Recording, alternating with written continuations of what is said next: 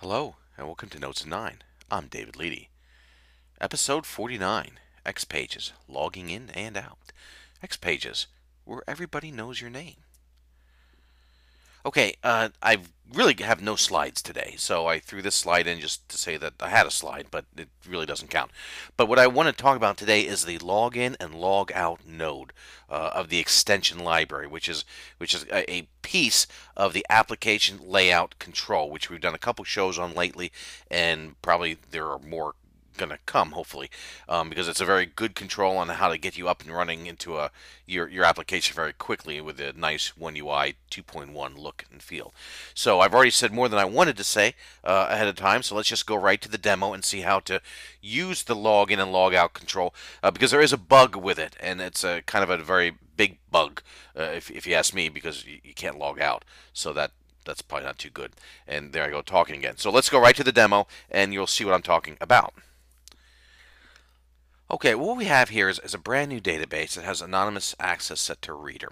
And what I want to show you today is the login and logout mechanism of the extension library.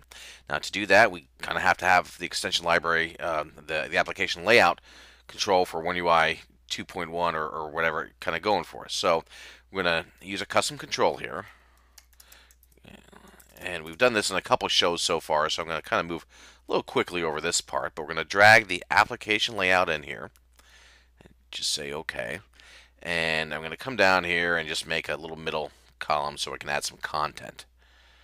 Then we're going to make a new page, call it home, and drag our custom control on. And, and what I, again, what I'm kind of getting into now is doing it this way. Oops, container control. Is by dragging a panel on here you can actually start working on your XPages again rather than putting everything in a custom control. So leave your custom controls for just the reusable stuff. And then if you're using this technique, you can come in here into the panel and, you know, just start putting this as your content. This is your place to work.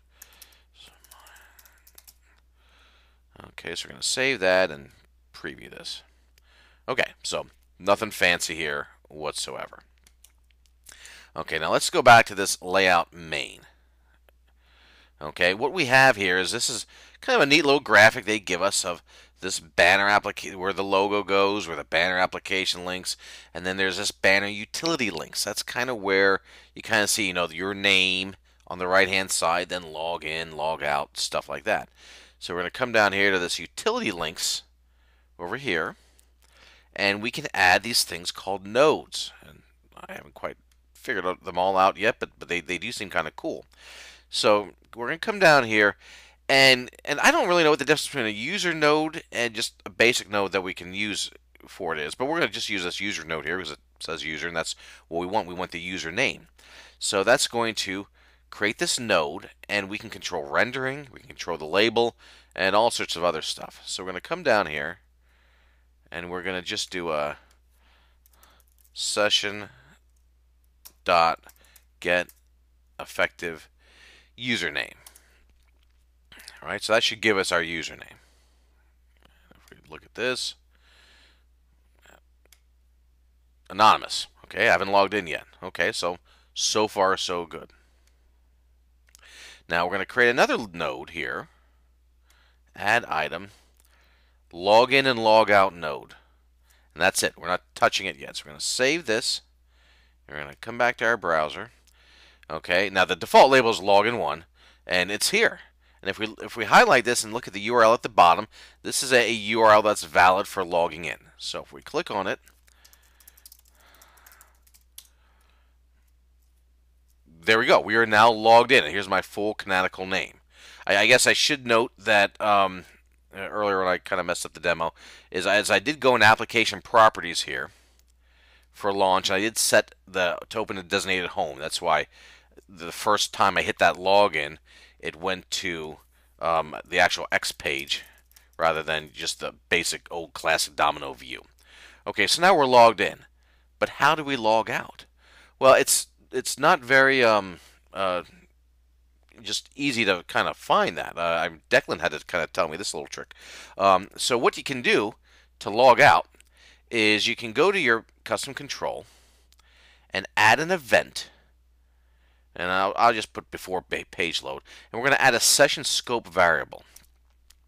We're going to put in session scope extension lib extlib dot user dot can log out true. Now, why this isn't an option of the custom control, I don't know. I, I, I think that's kind of silly, but uh, I, I don't know. So if we click login here, and we log in, guess what? Here it is, but it still says login. It still says the label name. Okay, well that's kind of silly. So the way you get around that is coming back to utility links, and what you actually have to do is you actually have to blank the label out, leave it blank. Now how you deal with different languages and stuff like that, I don't know the answer to that. So now if we blank the label and come back here and log in, now it says log out. Okay, you think, okay, we're done. All we have to do is fix this up by using a, like an at name or, or something like that. And then we're and then we'd be good to go. But no. Uh, so if we, if we look at the log log out that it gives us and look at the URL down there, it says log in. And it's not a trick. It actually does not log you out. So we're close, but there's some bug or something because the logout doesn't work. Well, okay, that's a bite. So what do we do here? Well, the way I, the way I handle this is I added my own item. So we're going to do a um, basic node, and that's going to give us an href and a label. So we're going to make the label log out. Then for the the href, what we're going to do is come in here and compute this to be this, which is basically going, going to get the path and send us back to the path. So if we look, save this and look at it.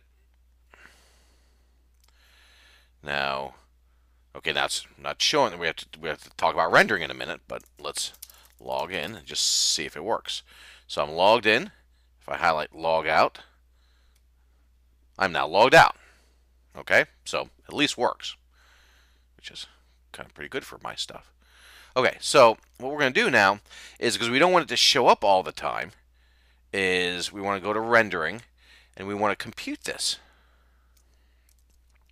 And we're going to click our little dot and come down here. We're going to create, oops, uh, this is from my notes that I just copied from the side. So we're going to create a variable named uname, and it's going to be it's equal to session scope get effective username. if that username uname variable is anonymous, then we return false. Else we're going to return true. So now if we look at this, check it out. Anonymous, we do not see a log out. We click log in.